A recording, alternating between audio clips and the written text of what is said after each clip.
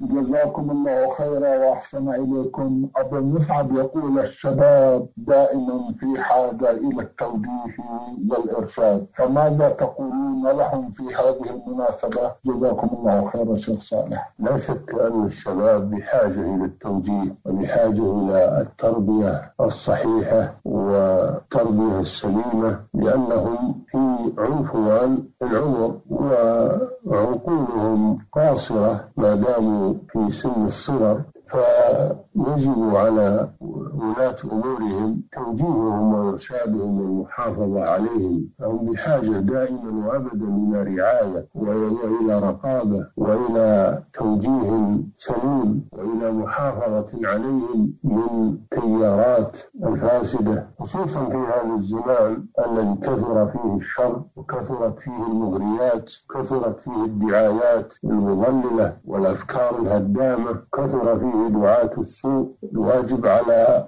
ولاة أمور الشباب سواء كانوا ولاة الأمور الولاية العامة أو ولاية أمورهم الولاية الخاصة. عليهم أن يعتنوا بالشباب وأن يبعدوا عنهم أسباب الشر وأن ينشئوهم على الخير لأنهم أمل الأمة وهم الذين ينبني عليهم مستقبل الأمة بإذن الله عز وجل. فالأمة بشبابها فإذا فسد شباب الأمة انهار بنيانها وفقدت مقوماتها فأمر الشباب أمر مهم جدا. ولا ينبغي إشغال وقت الشباب بالملهيات والتوافه التي لا يستفيدون منها لا في دينهم ولا في دنياهم. لا ينبغي إشغالهم بالمرفهات وبالألعاب وبالأشياء التي لا تعود عليهم بنفع لا في حاضرهم ولا في مستقبلهم ولا تنشئ فيهم الأخلاق الفاضلة ولا تكسبهم معلومات